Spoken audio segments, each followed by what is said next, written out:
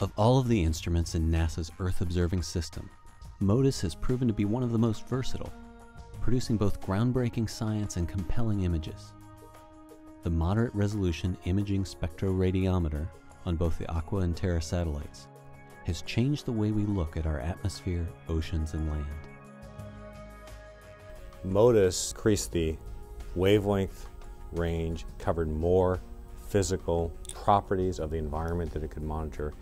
It measured them down as small as 250 meters, size of a, a couple, football fields in size, and had many more spectral bands to study more aspects of the ocean biology, of the land, fires, and it was a very technological advance in capabilities.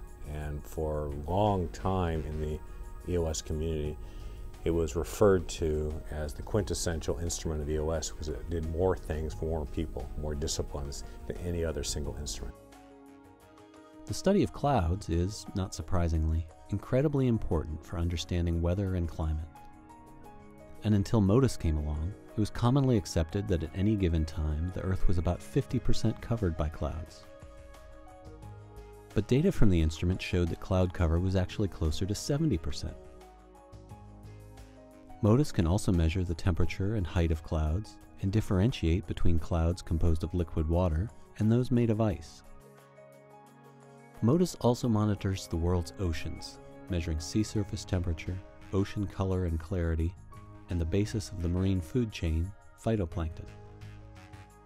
MODIS has done a very good job of getting uh, this biological signature, our chlorophyll A, which follows phytoplankton and ocean currents, and you can see the, uh, the seasonal variation due to El Nino and other things where the biological productivity of the ocean. This is important because the, this biological photosynthesis takes carbon dioxide out, produces oxygen as part of photosynthesis, and so it is a sink for carbon that we, man, put in the atmosphere. MODIS also looks at the land, monitoring fires, land use change, and various measures of the Earth's plant life. So it's been used for a long time to monitor the growth of vegetation, the seasonal cycle, and how that changes year to year, whether it's due to droughts associated with El Nino or spread of the Sahara. But it's a very good index to monitor. The versatility of MODIS, as it measures land, sea, and air, contributes to the wealth of information being revealed by the Aqua mission.